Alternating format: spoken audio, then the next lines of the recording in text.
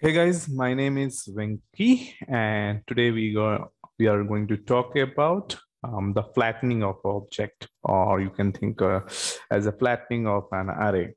So uh, if we uh, think like sometime we uh, uh, receive a data which have a kind of nested array um, like this, okay, and we want a, such a data we want in a single array or even then could be the object containing inside, but we want to be displayed somehow in a in a table so that it is visible. Okay, so we just want to flatten.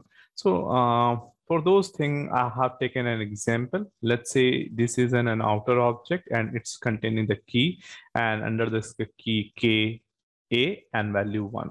Okay, again it's a key two and type, let's say key B and value. And key three is something like that, A, B, and C like this, okay? So how it's going to be flatten? It flatten is simple means uh, we are just going to uh, drill down till its value. Let's say key one dot key A and its value, okay? Uh, now we'll take key two and similarly we will drill down till its value and we'll figure it out where, is, uh, where, where its real value is exist. Okay. Now we'll go also for uh, the third one, which is the key three and we have to go till K, A, B, and C like that way.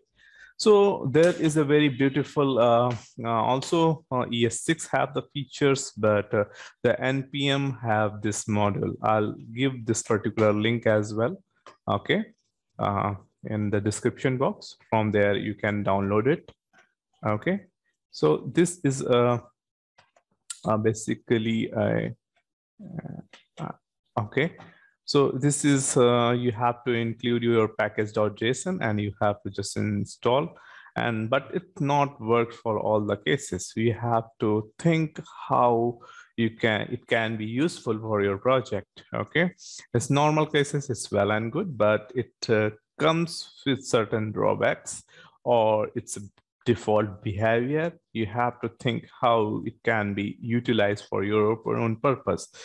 So let's say we have a simple, uh, I'll taking uh, two example. One is the simple one. Uh, I have already um, added this flat node module over here. And um, uh, then uh, we have already uh, required, I have already imported this feature over here and I'm just going to respond. I'm just taking a dummy object and then I'm just going to respond it over there. Okay, so let's come to, I'm just first taking first step, I'm taking very simple example. And let's see whether our flattering is working or not, say. So it's our, let's say it's an our object, which have the prop one and prop two, okay? Or if you want, we can take it's exactly the same value, okay? Let's say we are just, just going to take this value instead of that. Okay, so I'm taking that particular value. Um, I hope I have. Okay, now this one. Yep. Okay. Now I'm going to send the flatten data. I'm not uh, first. Uh, let me send the original object and see the response. How it's being the response is being there it's key one, key two, exactly the same way uh, we are receiving the data is exactly the same.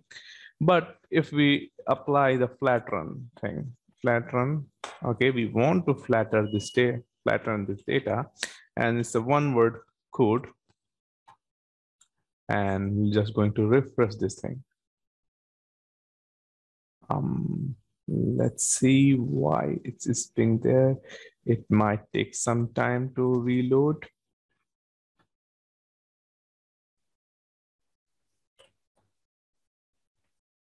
Hmm, got it. There's a one spatial and and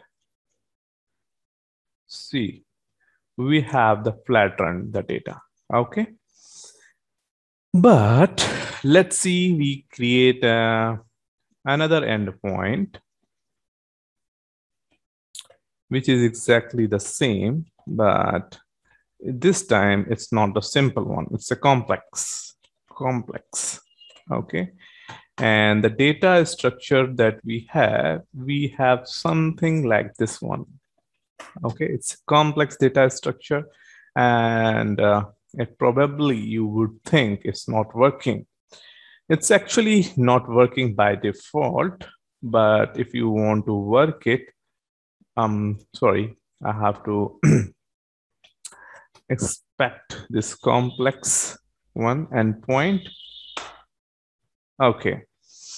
The you have observed uh, it's also it's, it's, it's actually the flatten the thing. There are the two things uh, it is uh, being there. First, um, it's considering the second product as a still a string. Okay, it's not this considering um, as an uh, as a value means is this is uh, it's not a, this is not a JSON value. Instead of that, this is considering as a string value. Okay, so um, um, but apart from this, it's also indexes of the array is also considering as a key. Okay. And if we go to JSON lint, so let's make JSON validator and open up over here and you see we really not expecting this. Uh, it's a zero, zero, one ID. It means everything is flattened and it's become an object. Honestly, we don't want we want something like id and product.xml.code means nested for one that we really need and we want to do that okay so how we are going to do that so we let me think first thing this particular person we have to convert it as a json instead of a string because it's basically it's not a json value okay? So two things. First, we have to loop this thing and make it update it as a, uh, let's say let i is equals to zero, i is less than, and uh, let object dot length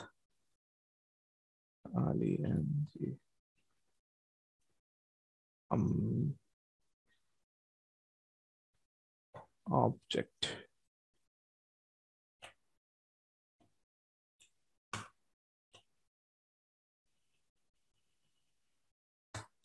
and i plus plus. Okay. Now, what we have to do, we have to parse and store uh, the value inside. Like we have to XML, the XML.